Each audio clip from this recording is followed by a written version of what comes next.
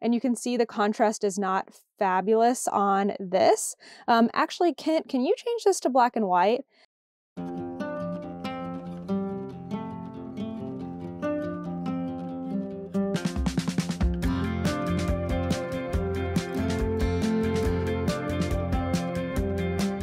Hey everyone, it's Natalie, also known as Knitty Natty. Welcome to episode 212 of the Love in Stitches podcast.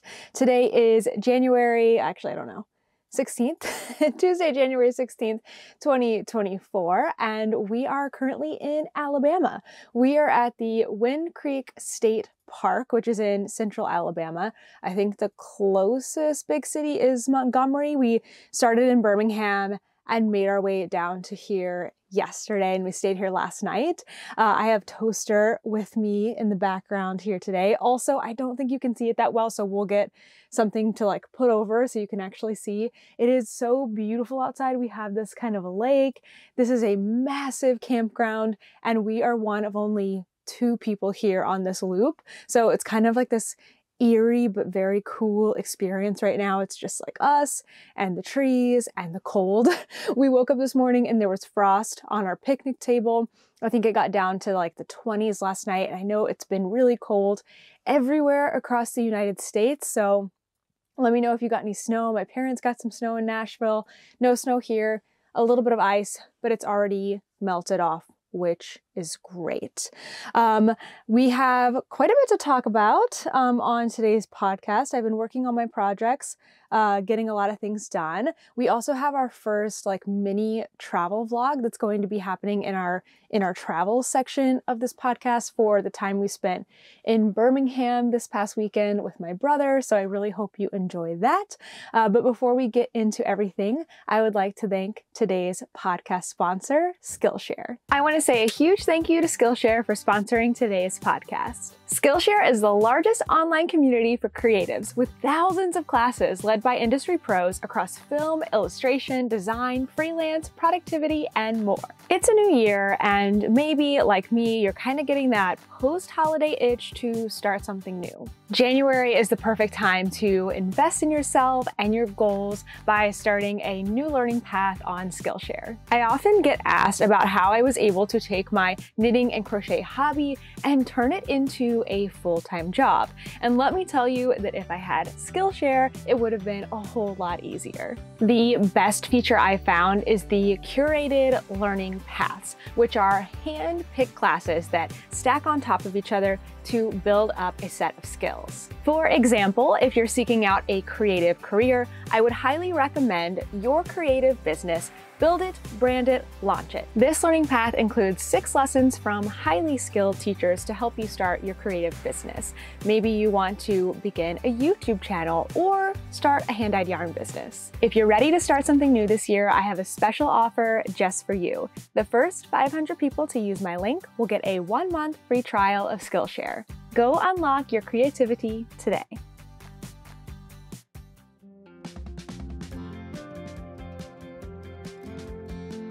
I can already hear Toaster snoring. and sometimes that picks up on the uh, microphone and sometimes it doesn't. So if you do hear anything, it's probably just this little one having a nice little post breakfast snooze. Okay, my first project that I want to talk about today, I am so proud of how much I have done. So I've got this in my uh, two skein size float tote, which is one of my patterns that I designed specifically for color work. It has been very helpful in this case. And I had just started this last week. I actually ended up taking out what I had done, what I had shown in last week's podcast, and restarting it, but that wasn't a huge deal. I only had the provisional cast on and a couple of rows, and I was really noticing that my gauge just didn't look right. It looked a little too big. I was using the um, suggested needle size for the pattern, which is a size 5 needle, and I should have known better. For me, a lot of the times I need to go down a needle size in order to achieve the right gauge, just because I have uh, kind of a loose, loose tension, especially with color work. So I went down to a US 4 on my Lantern Moon needles, 24 inch needle, and it is looking great. So imagine just a couple of rows done, and then now look at everything that I have done. I am actually getting pretty close to finishing this. I was keeping such a good pace um, over the last week, getting one to three of these motifs done per day, and we will go through each of them in just a second. Um, but I haven't done as much since we started getting on the road again. I just haven't had as much time to knit, but I think that I will be able to do a little bit more this afternoon. I think I have maybe five to seven more inches to go. Uh, the total is supposed to be 20 to 24 inches, and I think I'm at 15 right now. So here's what I'll look inside my bag. So I've got two cups for the two colors that I'm using the most. I will sometimes take these out of the bag, and then the other ones are just kind of resting in there. When I have three colors going, which is the case for this next chart that I just started, I will have two, like the two um, accent colors in the little cups because I hold both of those in my left hand and I will have the main color out of the bag like in my lap or something because usually that's the one I'm throwing over to catch floats and all of that. So um, it's been working out really, really well. I've been trying to keep an even, like use these evenly. So every time I pick a new chart, I kind of look at which colors I haven't used in a minute, which colors I should be using next, and that's been working out really, really well, I think, so far. Not all of them have the absolute best contrast, but that's all right. Okay, so this pattern, I haven't even said that yet. This is the Rhinebeck Doodle by Jamie Lomax. Jamie Lomax is Pacific Knit Co. Um, and she has designed all of these amazing colorwork charts um, in like kind of packs, like in themes. You can get them on Ravelry as a full pattern, or you can get these little card packs, which is what I have. And I decided to do something fun with my card pack. And forgive me, I think I explained this last week as well, but I'm going to repeat myself. But basically, what I did, there are 24 cards in here. And same thing if you get the pattern online 24 different charts. You don't need all of them. I think I'm going to need, or I think I picked out 12. So I kind of went through and I went, okay, I want to use this one. I don't want to use this one, maybe this one, and kind of sorted them out. And then of all the ones that I wanted to use, I sorted them into things that were more um, picture like, like these trees or the sheep or the llamas or alpacas, whatever you want to say for that. And then ones that were more kind of decorative background, like these leaves, uh, kind of like these flowery things. I kind of thought this was a little more backgroundy. And I just set those into two piles. And then, I, so I had my two piles that I wanted to use, and I had Kit take one from each pile and just put them face down, stack them on top of each other. So what that allowed me to do then is every time I'm ready for a new um, motif, I will take it, I will flip it over, I will pick what colors I want to use for that one, and so on. And I don't see the next one until then. So I have, I'm about to do this one which is a, and I'm not showing it too, you know, for too long because these, you know, this is somebody's copyrighted work. Um, oh, I just looked at the last one. I meant not to look at it, but I have two more left, is what I was going to say. Um, two more left after this one. So basically, I have three left, and then I will probably be done. I'll see if I need to do, you know, another couple inches or so. The other really fun thing about these patterns is that aside from you can do them in any order, any colors, and make it just as fun as possible, you can do two different styles. So now that I actually have some knitting, as opposed to last week, I can show you that. So the first style is to do a single-sided cowl. So I would have stopped probably, I think like 10 inches in, and I would have worn it, fold it down, I would have worn it on my neck this way. Like where the hole is on the bottom would have gone over my head, and it would have been a single-sided cowl. I am doing the infinity loop one. So I'm going to wear mine this way where it will it will attach. So these two ends, obviously I don't have enough knitting yet, but these two ends will be grafted together.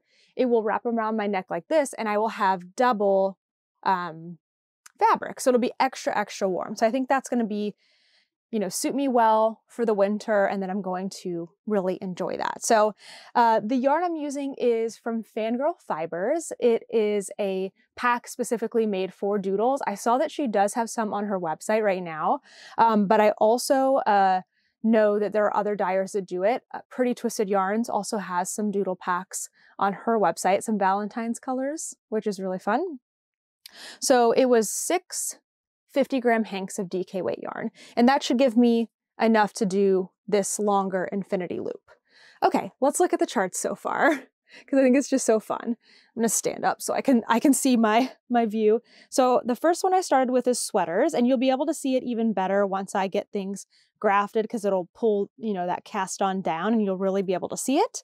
I've got these um, llamas. I'm thinking they're llamas because they have little saddle blankets, leaves, sheep number one, more leaves, trees, flowers ish, sheep. This is where I started. I, I wanted to start using combinations that I hadn't used before, and you can see the contrast is not fabulous on this. Um, actually, Kent, can you change this to black and white? Um, this is such a great thing you can do before you pick your colors is look at on your phone you can change your filter to black and white or take the picture and then change it to black and white and you can see what's going to give you contrast. So I actually already knew that the pink and the orange were not going to contrast, but I thought, let me just try it. I haven't used them together yet. And like visually, you can go back to color now. Um, visually, you can see it in good light, but it was actually really hard to do at night. Um, same with this, not the highest contrast. It does work, but I could kind of tell from using that black and white filter trick that it wasn't going to be the highest contrast. So because it was just a small chart, it's not that big of a deal, but I would definitely do that, um, you know, before encountering an entire colorwork sweater or something where you're going to put a lot of work into.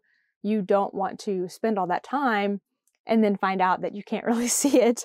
Um, so Again, there's only so many colors in this pack that contrast well with each other, so I'm just trying to come up with different combinations and I'm still happy with it. So I'm starting on, I just started on the socks. What's been really fun about this cowl is that I haven't done color work in a while, so I've really enjoyed that. I am a two-handed color work knitter, which means that I hold, okay, so this one has a white background. So I will hold the background color in my right hand and I will hold the contrast color in my left hand and I'll use both hands as I knit. Um, but I have encountered a few three color charts in this pattern. So I've been working on my three color color work knitting skills. So what I have decided to do is hold Actually, that's not really true. I don't really do this. I'm still holding the background color in my right hand and throwing it. I have the contrast colors right now. I have both in my left hand, um, but I can't really manage that that well. Sometimes I will do that, but what I'm doing most of the time is I'm actually picking up and dropping. So I may, I don't know if you can see this, I may like work the pink and then drop it and then pick up and work the burgundy and then drop it and pick up and work the pink. So I'm always holding the background color in my right hand, but the accent color I'm like picking up and dropping. And honestly, I think that's okay. If that's how you need to do color work, it's pick up and drop and pick up and let go. I think better to do that than to have really uneven tension or just not do color work at all. Um, I'm hoping that eventually I will get more comfortable holding two colors in my left hand. So I'm practicing it here and there when it makes sense, but other times I'm just picking up and dropping, like I said. Okay, let me make sure. Oh, I guess the one other thing is the reason that I got into this is we're doing a doodle make along in our membership for the month of January. So this has been really fun to make alongside our Love in Stitches members. They're making a lot of different doodle cowls or other smaller doodle motifs. Some of them are even taking the charts and trying out crochet, like Tunisian crochet, which is also very interesting. I saw somebody commented on last week's podcast, I believe, and said they wanted to try, or maybe it was Instagram. It was somewhere where I was sharing the cowl and they said they wanted to try it with crochet. And to that I say, go for it. I think that would be really cool.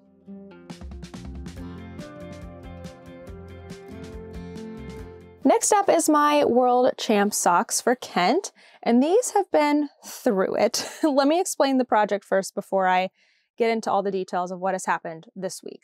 So this is some yarn from the Little Wolf Knits, Brianna, my friend, and Kent and Brianna dyed this colorway together for the Texas Rangers World Series champions. Um, so that's what the colors represent. And this is Kent's very first pair of hand knitted socks. So I've really been kind of hemming and hawing over these. I have never made him socks before. So I don't really have a formula for him. So I'm using my perfect fit sock formula. I was a little bit lazy and I just measured the ball of his foot to get started from the toe. And that got me so far. And then I needed more measurements from him to figure out what I wanted to do uh, for the heel when I wanted to stop knitting on the foot and start working the heel and all of those things. So finally, a couple of days ago, I got the motivation to take his measurements, put them into my spreadsheet, which is my perfect fit sock formula and get all of the calculations. Um, my perfect fit sock formula is for cuff down socks, but it still works for toe up socks. You just have to reverse things like the increases and decreases. So if you're somebody who has that course, you can reverse it. I am still hoping at some point I will have the brain space to sit down and rewrite the pattern so that it can be easily used for toe up. But I got to work through my own toe up sock first. But anyway, I sat down and did all of that finally, and I realized that I needed to pull out quite a bit of knitting that I had done. So I started here. I had actually probably worked about to here just in you know, plain stockinette rows. But then I realized I needed to come back to here because I needed to do some increasing to prepare for the heel. So I pulled back, I did that. And then last night I had gotten halfway through my fish lips kiss heel, which is a short row heel. So I was kind of feeling like the sock was looking a little, or the heel was looking a little bit big, um, but I never stopped to count my stitches, which is definitely something you should do at multiple stages of any pattern, especially at like certain checkpoints where you go from maybe a foot to a heel. It's a good time to stop and check your stitch count. Should have done that. Um, so I realized last night, after I'm already halfway through the heel, that I had done way too many increases in the foot and it looked absolutely ridiculous. Um, I've got a picture of what that looks like here because I feel like the video we just showed doesn't really do it justice. After I came back to where I needed to be, stopped at the number of increases I needed to do, it looked like it could fit a giant. I think I had something like 60 stitches for just the heel. And just for a point of reference, my entire foot needs 60 stitches, actually less than that. So that was a ridiculous amount. So I, this morning, pulled back. I, what I had done, the, the way I made that mistake is I knew I needed to do eight increases. So instead of doing four rows, like four sets of two, I did eight sets of two. So I did 16 increases instead of eight, resulting in far too many stitches and far too much length in the foot too. So once I got that back, it's now looking much more normal. I am just started on the heel again. Let me see if I can kind of show. I just started to do the short rows for the fish lips kiss heel. So it definitely widens here, but like in an appropriate amount. uh, Kent also picked out this stitch marker. I told him to pick out a progress keeper for me to use while I'm making his socks, and he picked this one out. Um, Kent, what's this thing called again? Swiss cake or something, or ding Swiss ding dong, or Swiss Miss or something. Swiss Miss is the hot chocolate. anyway, he picked this out. I think it's really cute. I believe this one is from Simply Serving, and I love changing up the markers to make, you know, a project feel a little fresh. So now we are rolling on this again. This is still sock number one. I have my numbers. I'm on the right track. I'm planning to do a rib for the entirety of the leg. Um, since I'm doing the fish lips kiss heel, I'm going to do stockinette on the back half of the leg for just a, an inch or so before going into the rib on the back of the leg.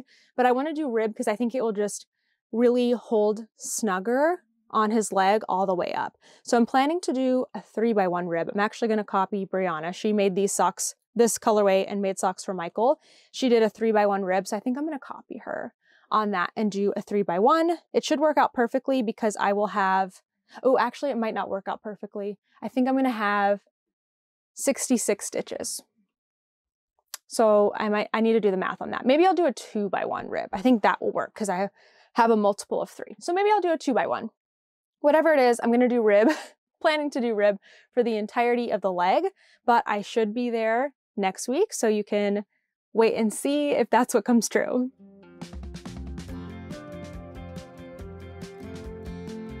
Last thing I've been working on here this week is my hexi blanket, my travel hexi blanket. Uh, this thing is starting to take up a lot of space in my cubby. I'm so proud of myself. If you've seen on Instagram, I'm so proud of myself for having all of my projects fit in this cubby up here right above me. It's so convenient because I can actually put all my projects away. Whereas in the past, I've pretty much always had to have one work in progress, like sitting out on a seat, sitting in the front seat. Not a huge deal, but it is very satisfying to actually be able to put everything away in this van. And if you're watching Vlogmas, you know that we had that giant bag of Advents out on our floor for the past couple of months. And that is now at my parents' house, dispersed, distributed, cleaned up. It feels really good. We feel like we have so much more room in the van right now. We're most likely going to do a van tour in next week's podcast. So I was kind of thinking about doing it in today's, but we decided against it because of the light and everything today. So we'll do it next week or in the future pretty soon. Okay, so my Hexi blanket, this is the a modified version of the Summer Fade Hexie blanket by Mallory Kral. I am collecting yarns from all over the United States as we travel to yarn stores and dye studios and adding it into my blanket. So I Again, I feel really proud of myself.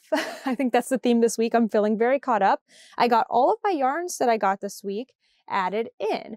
So we went to Paper Crane Yarns in Calera, Alabama. We did film a tour there and that will be coming in a few weeks, um, but we had such a great time there. The store owner, Ashley, is really, really sweet. She has the most adorable store. There was an original, like, kind of front couple of rooms and they've since expanded into the shop next door. So we got to see all of that, see everything renovated. Um, we even got to stay after the tour for a few hours for their weekly like sit and stitch and meet a bunch of people. So that was really, really fun.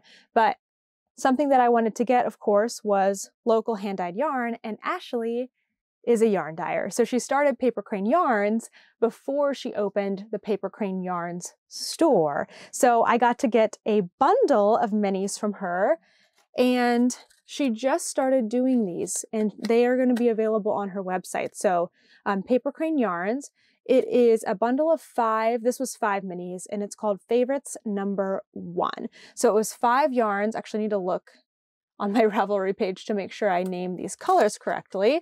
Let me get that up. Whoops. Just a reminder that I have every single color and every single photo of all of these hexagons on my Ravelry project page. I think I have one to add right now, but it should be done by the time the podcast goes up. Okay, let me find where I was. So, exciting thing this week is that I started the fifth ring. So I am going to keep a stitch marker here on this hexie because this is the start of the fifth ring. It gets a little confusing because this looks like, you know, it's all attached right now. Like there's not a distinguished kind of step up from here. So I'm keeping the marker in. Um, this is a book stack marker uh, made out of polymer clay that my friend Stephanie, that I got to meet in person for the first time at Paper Crane Yarns, gifted to me. She said she found the charm um, somewhere where she was traveling, and then she added it, you know, added it on the le the lever back, excuse me, and made it into a stitch marker. And she said she thought of me because I am doing a lot of reading right now, so that was really sweet. So this right here was the end of the fourth ring around, and then this one is the start of the fifth ring. So each of these will have six hexes like across each side. So this entire blanket right now is still the shape of a hexagon and it grows by six hexes every single time and the sides get one hexie bigger every time. So the fourth ring had five hexes um, on each side and this one's gonna have six. So the final hexie will go right here and it will be the six one like on this side and that side because the corners count for two sides. Does that make sense? I'm finally starting to understand how this blanket is being like coming together. So it helps me to understand it. Also, I believe this ring is going to have 30 hexes. I think that's right because I think the previous one had 24 and then this one's going to have 30. So the hexes that I did out of the favorites number one bundle are right here, these five. and they are hexes 62 through 66. Crazy, right? We haven't even made it to half of the states yet. this blanket is going to be massive. All right, let's go through these colors really quickly because I think these are all really fun. The first one here is Mariner's Tale, which is a literary reference. This one is Caramel Latte. This one is Ara, which is Ashley's daughter's name, has some speckles in it. It's really pretty. This one is dried poppies. And this one I actually haven't put up on my page yet, so I can't tell you. So we will have to put it on the screen. Let me see. Can I remember? I can't remember what it's called right now, but we'll have to put it on the screen. It's really pretty, kind of like a, it's coming off more orangey, like more terracotta colored on the screen, but it's definitely like a lighter, cooler color. So I'm all caught up. My bag well, you can't really see inside of it. My bag is empty. No more yarns to do. I'm really hoping to keep it that way as we travel. When I get a new yarn, add it into the blanket, preferably while we're in the shop. That's always fun, or right after. And I just keep this bag in here that has my crochet hook.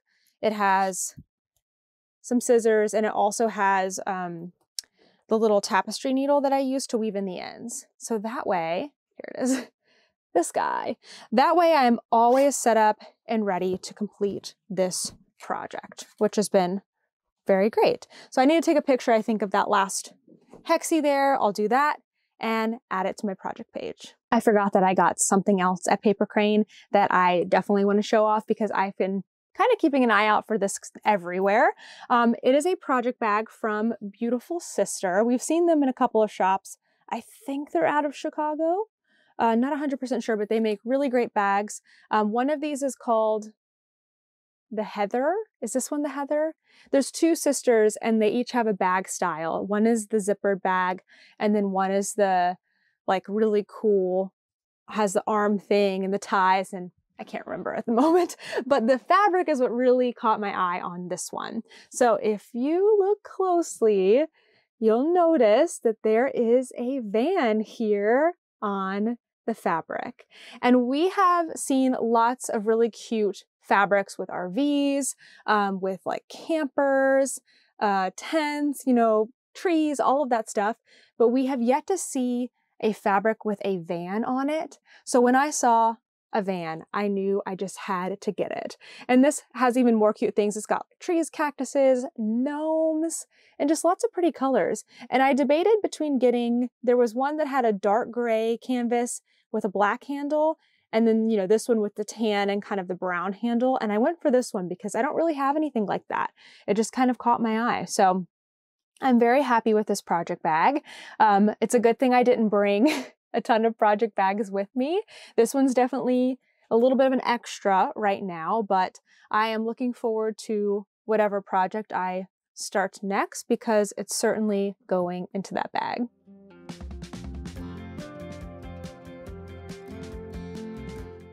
This week, our travels have taken us from Nashville into uh, well, I guess Tennessee into Alabama, but from Nashville to Birmingham and now down into Alexander, Alabama, I think is where we are, Alexander City, something like that.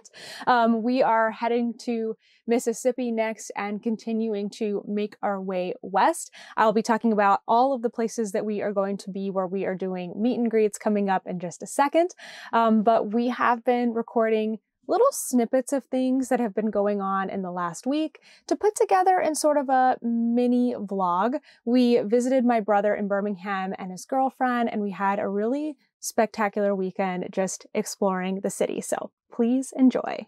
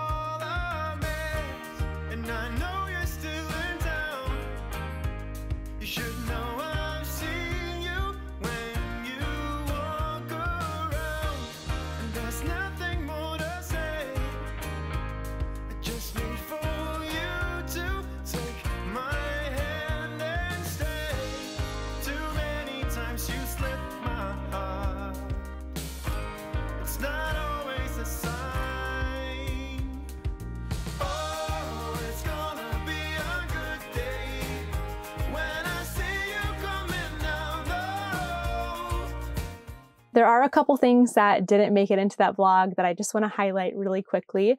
Uh, before we left Nashville, I got to go to Bliss Yarns for their knit night and hang out and see lots of people. I have one photo from that night and it is not a photo that I took, so it's like zoomed in on two of us, but there was more of us in the photo if you saw it on Bliss Yarns Instagram, but it was a really great time.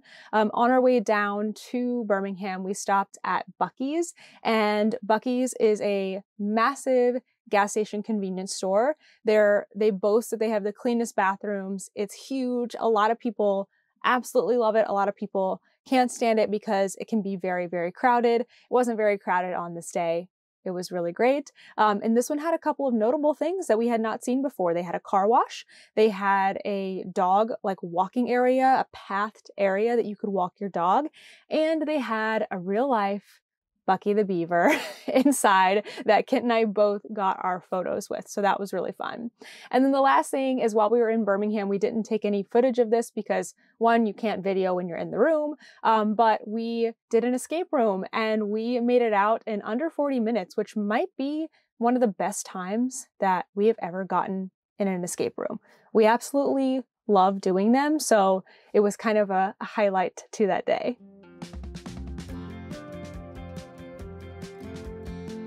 This week's newest video is a yarn store tour at Four Purls Yarn Shop, which is in Winter Haven, Florida. We actually visited back in early to mid-December and we got to stay for a knit night, come back the next day and tour the store, which was so much fun. They are the home of Emma's Yarn, which is something you may have heard of before. And there's a ton of Emma's Yarn there. They also have lots of kits, lots of their theme packs, which are mini skein bundles. I think there's 12 mini skeins in there. They have a mini skein wall of fingering weight and DK weight. It was just the most fun store. They do have other yarns aside from Emma's Yarns, and they put a lot of effort into their newsletter every single week. So if you're someone who is kind of seeking out that online community or a place to shop online, hop on that newsletter. They put together a lot of yarn kits that you can, you know, peruse through to make different projects, you know, all the new patterns that are coming out, etc. Um, we did a fun segment in this one where we asked everyone that was there that day what their favorite Emma's yarn colorways were. So that was really interesting to see. And of course, we, as always, we sat down with the owner, Laura, and got to hear about how Four Purls got started. So that was a really fun tour and we're excited to publish it and put it out there for our Florida stop.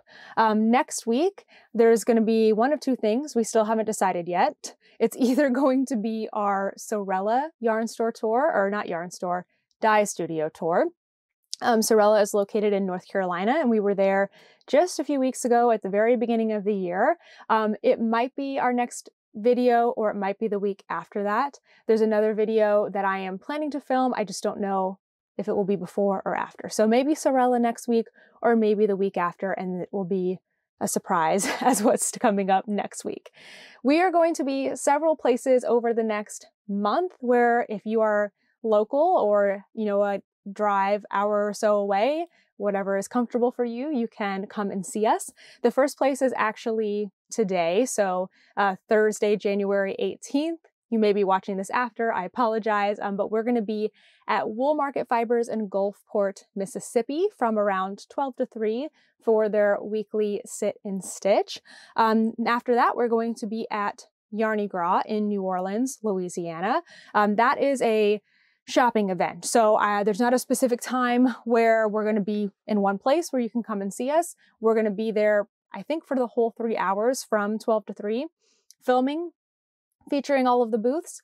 So just come up and say hi if you see us. That is absolutely fine. Hopefully by then I have gotten my stickers. I've done a new order of stickers and business cards and they're on their way to my parents' house right now. So hopefully by then I will have gotten them shipped from my parents' house to me.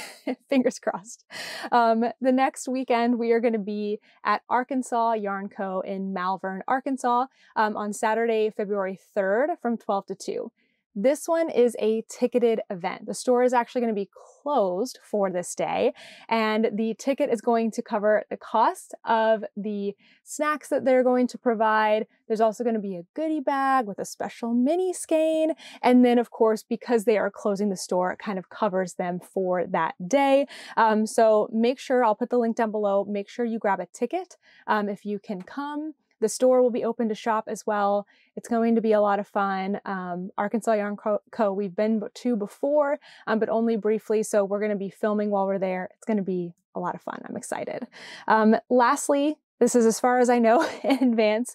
Um, we are going to be at the Modern Skein in Montgomery, Texas on Tuesday, February 6th. So this is in the middle of the week. Um, we will be there from about 12 to 3. That's usually when there are people there at the sit and stitch. So come and hang out with us. Um, we are just going to have filmed in the morning. So we'll be hanging out after that and enjoying a little time to sit and relax. Thank you so much for watching today's episode. I hope you have enjoyed it and our new little vlog and all of those things. We're really excited to be sharing more of what we're doing in our travels and also more in advance of where we're going to be so that we can meet more people. You could say we're getting a little bit better at this. At least that is the way that it feels to me. Thanks again for watching, and I will see you in the next one. Bye.